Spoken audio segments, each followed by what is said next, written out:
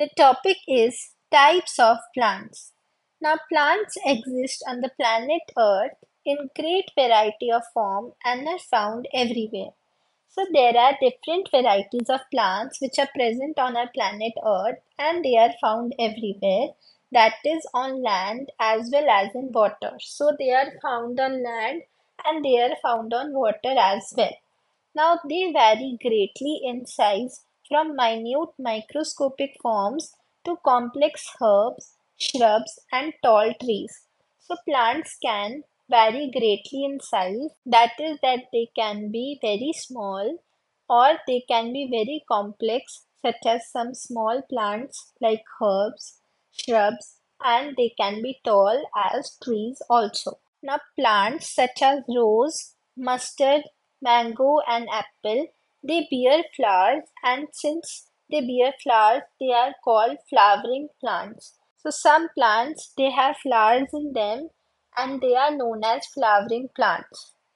Now plants like mosses, ferns and algae they do not bear flowers and they are called non-flowering plants. So there are some plants which do not have flowers on them that is why they are known as non-flowering plants. Now let us see the figure which shows a flowering plant. This figure shows a flowering plant and the parts of the plants. So let us see. It shows the root. Now root has the function that it anchors the plant in soil and it absorbs water and minerals from the soil. So it helps to hold the plant in the soil and it also helps to absorb water and minerals which are required for the plant. So this shows the root system. Now let us see the shoot system which is present above the soil. Now shoot system consists of the first part that is stem. Now stem consists of leaf and it transports water and food to various parts.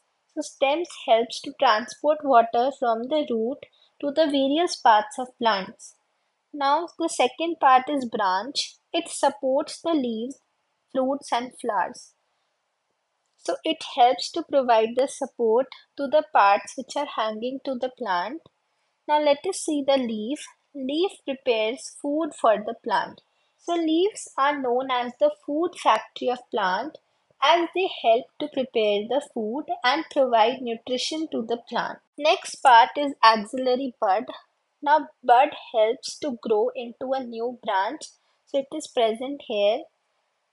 Now fruit helps to store the food and it helps to protect the seeds. Now fruit is formed after the fertilization and it helps to protect the seeds. Now flower it is the reproductive organ and it produces fruits and seeds. Now flower helps to produce fruits and seeds after fertilization. Now node and internode are also present. Node is the point from which the leaf or the branch is arising and this is also a node where the leaf is arising and the gap between two nodes this is known as internode.